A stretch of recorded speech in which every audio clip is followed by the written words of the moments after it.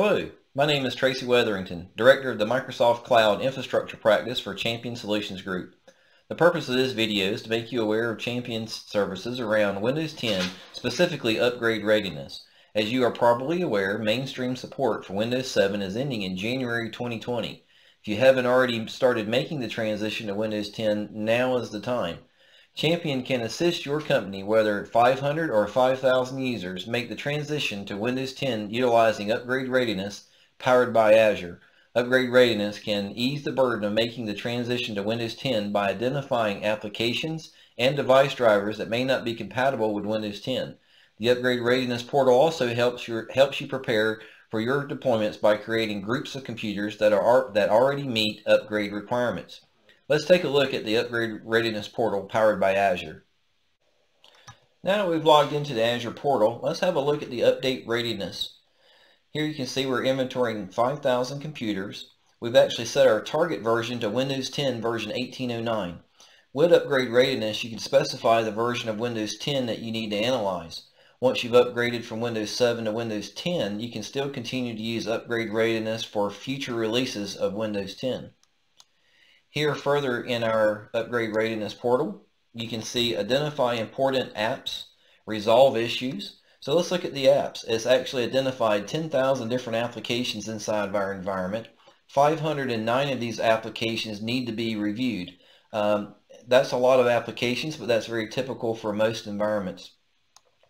Resolve issues. Here you can see it's broken down applications with known issues. These we need to identify and fix inside our environment. It's identified known drivers. Uh, it's identified 168 drivers in need of review. Here we've identified 53 low-risk applications, 164 low-risk drivers in need of review, and 110 apps and drivers to test to unblock 10% of the computers. So it actually helps you prioritize which drivers and applications need to be identified inside your environment for remediation and preparation for Windows 10. Here we can actually click on drivers and need a review. So we can drill down and get really in-depth in the data that we're collecting within your workstations. So Azure's provided here 138 drivers that are available in box and from Windows Update. So let's drill down even further into that.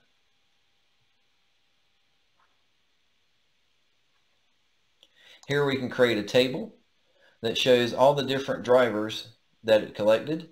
Here are all the information about the driver. So now what do you do with this information? There's a lot of different things that you can do. You can simply hit export here and export it directly to Excel. So from Excel, we can now create uh, a report that actually details whether or not the device driver is stable, uh, the computer ID, the hardware name of the device driver, the driver name itself and version, driver date, whether or not it's okay to pilot this and whether or not it's continue to, to move forward. So you can actually export this data and massage it however you like inside of Excel.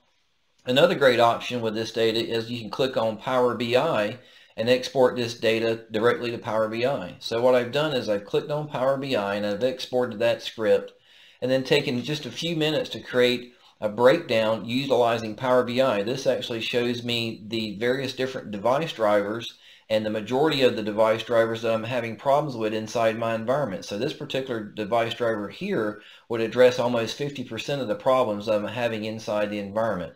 Power BI and Excel are great tools to help create these reports to present to your management team and continue to up eh, to continue to monitor your upgrade processes. Now that we've identified apps and device drivers that may be causing us problems with our Windows 10 upgrade, we can now move on to the deployment step and monitoring step. With Upgrade Readiness Deploy, we can actually create collections or computer groups based on the information that we collected in the previous two steps. With Deploy, we can also connect that directly to our, S our on-premise System Center Configuration Manager to create collections based on the information collected in steps 1 and 2. So in other words, deploy will automatically create those collections in SCCM in preparation for deployment.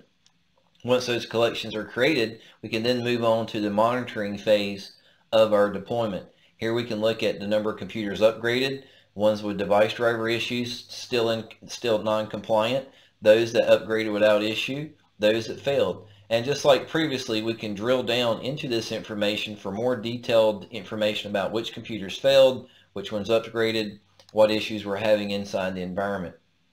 In addition to deployment, we also can look at Office add-ins such as Microsoft Azure, OneNote, Team Foundation, etc. So this also gives us some really good insight into any Office add-ins that may be causing us some issues in our upgrade.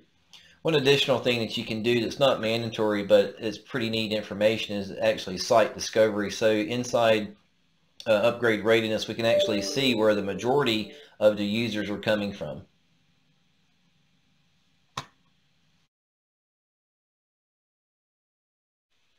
So how does upgrade readiness work? What Champion will do, will do is deploy a PowerShell script either utilizing SCCM or PowerShell inside your environment. And what this script does is actually sends all of its telemetry data for the workstations up to Azure. So here we'll actually enable telemetry on our computers. We'll inventory hardware, drivers, and applications. We'll send that data to the Microsoft Data Management Services. From there, it will go to the Upgrade Readiness Service. From there, it goes inside your OMS Workspace portal, which we recently just showed you. And then here you can use the Upgrade Readiness solution to identify those apps. So it's actually taking that telemetry data, analyzing it, and creating the Update Readiness solution for you. Once that data is collected, we can then utilize SCCM with the Upgrade Readiness information to create the collections as I previously mentioned to help you deploy Windows 10. As you can see, using upgrade readiness in conjunction with Azure is an extremely powerful tool in helping you make that transition from Windows 7 to Windows 10 and continuing the upgrade path of the new versions of Windows 10. Give us a call at Champion Solutions Group. Let us help you with your transition to Windows 10.